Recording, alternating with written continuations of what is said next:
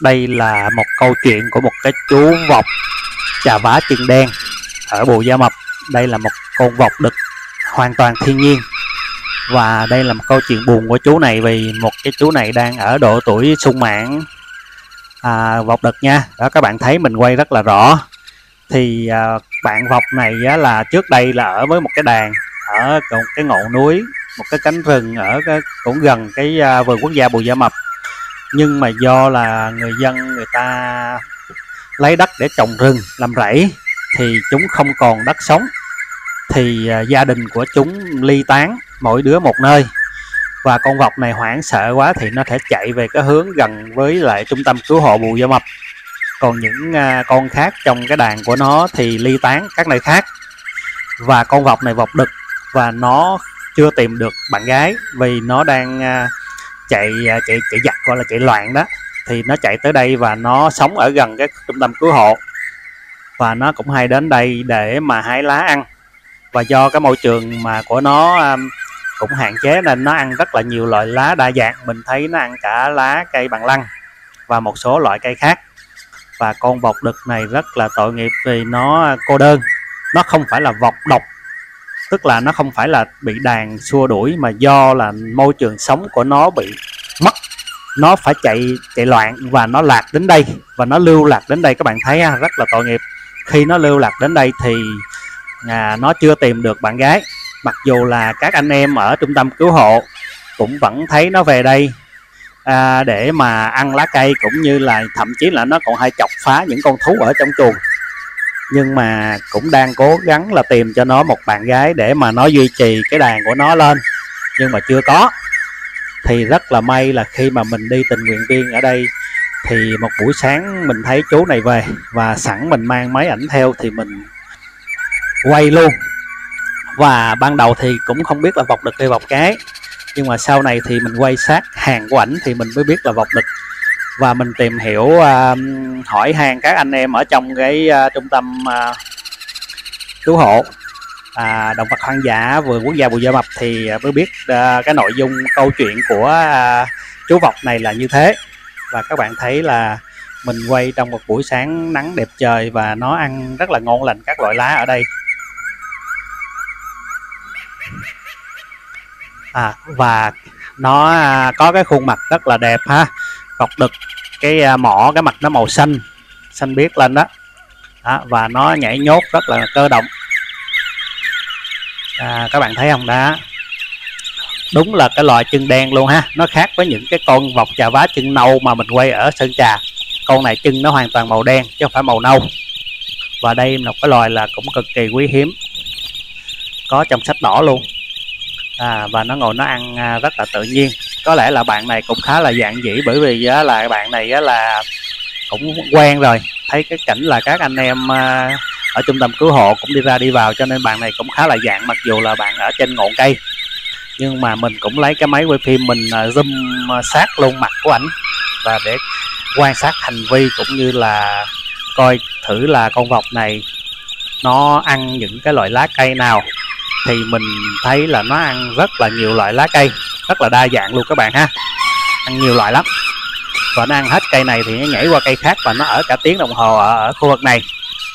Rồi sau đó thì à, nó với di chuyển vào rừng. Tức là trong rừng cũng nhiều loại lá cây nhưng có thể là có thể nó ở một mình nó cũng buồn do đó là nó về đây. Nó xem thử coi là trung tâm cứu hộ có à, cứu hộ được một à, bạn vọc trà vá chân đen cái nào không? Mà xinh xinh để mà ảnh ảnh Nghĩa nên là chẳng hạn như vậy.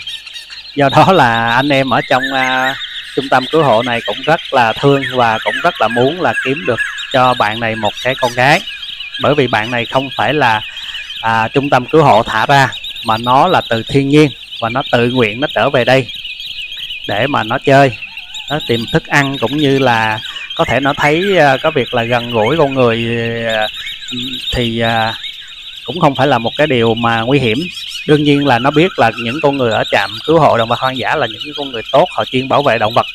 Chứ còn nếu mà nó à, ở ngoài thiên nhiên mà nó trở về gần với con người như mình quay được phim này thì cũng rất là nguy hiểm. Tại vì các bạn biết là thiên nhiên bây giờ ở ngoài thì cũng rất là nhiều cạm bẫy rất là nhiều kẻ đi săn bắn. Và con vọc này cũng có thể là một cái đối tượng của bọn chúng. Nhưng mà con này nó cũng khôn là, là nó chỉ dạng dĩ khi nó đi về cái trung tâm cứu hộ thôi. Còn ở ngoài rừng thì nó phóng rất là nhanh trên ngọn cây. Không thể nào chụp được nếu mà mà mình không có chịu khó là ngồi để canh à, nó và ngụy trang kỹ lưỡng các bạn ha. Đó là bây giờ là mình quay cái, cái cảnh là con vọc và trà vá chân đen này à, nó đang ăn các loại lá cây. Và cái máy mình zoom cũng khá là tốt do đó mình zoom sát lại để coi à, nó là à, giống gì? Và đương nhiên là mình biết đây là một chàng trai và cũng có thể là hơi lớn một chút rồi gọi là trai già rồi nhưng mà chưa có vợ chưa tìm được người yêu ha. Dạ và đây là anh ăn và cũng nhắc lại là đây là một cái câu chuyện buồn của anh này là do là rừng rừng tức là nhà của ảnh á đã bị người ta lấy đi để làm rừng làm rẫy à, trồng rừng các loại cây à, rừng và làm rẫy. Thì à, cái môi trường sống của chúng à, ở ngoài thiên nhiên không còn nữa thì nó phải đi những nơi khác. Và khi nó chạy như vậy khi nó hoảng sợ nó chạy như vậy thì có thể là nó bị lạc nó lạc bầy. À, tại vì một cái ngọn núi như vậy một cái khu rừng như vậy nhưng mỗi con chạy một hướng thì sau này có thể là nó chạy xa quá thì nó không thể nào tìm lại được bầy của nó. Cái này thì mình cũng nghe các anh em nói như vậy. Vì trước đây thì có nhiều người phỏng đoán là có thể con này là con vọc độc tức là nó bị đàn đuổi đi nhưng mà sau khi các anh em ở đây tìm hiểu thì không phải là như vậy mà là do là môi trường sống của chúng bị xâm phạm. Nên chúng phải uh, ly tán và bỏ đi các nơi và thất lạc. Và rất là tiếc là bạn này bạn đực nhưng mà chưa có được uh, một cái gia đình để mà phát triển bầy đàn ha. Chứ con cô vọc đực này mình cam đoan chắc luôn là khi mà nó có được một con vọc cái phù hợp thì có thể là nó sẽ nhân giống ra và sinh sản một cái đồng đàn vọc rất là đẹp. Và mình cũng rất là hy vọng là chú vọc này cũng có thể tìm được bạn tình của mình và nhân giống lên tạo thành một cái đàn vọc chà vá chân đen rất là đẹp ở rừng Bù Gia Mập. À, đây là mình những thước phim của Aleppo Discovery Channel và đích thân mình quay trong những uh, trong một tuần lễ mà mình đi làm tình nguyện viên ở trung tâm cứu hộ vườn quốc gia Bù Gia Mập và mong các bạn xem và có góp ý cũng như là ủng hộ kênh Aleppo Discovery Channel của mình. Tức là các bạn chỉ cần đánh câu cá biển.com là nó sẽ link ngay đến cái à, cái trang YouTube của mình ha cái kênh YouTube của mình. Và cái này thì do là mình cũng quay rõ để mà mình phân biệt giới tính. Do đó thì à, có gì phản cảm thì các bạn cũng bỏ qua. Bởi vì đây là một cái à, phim gọi là phim uh, về tìm hiểu, hả? Khám phá. Chứ không phải là bậy bạ gì. Nhưng mà mình phải quay như vậy để mà tìm hiểu được cái cái động vật hoang dã ở trong thiên nhiên. Nó là như thế nào?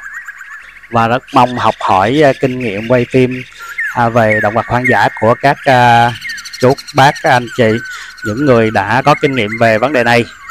Một lần nữa thì quân Aleppo Discovery Channel cũng xin cảm ơn các bạn và mong các bạn ủng hộ kênh của mình nhé. Rất là cảm ơn các bạn. Và mình sẽ có những cái thước phim khác hấp dẫn hơn để up lên, giao lưu với à, các anh chị. Xin à, chào các bạn. Xin cảm ơn.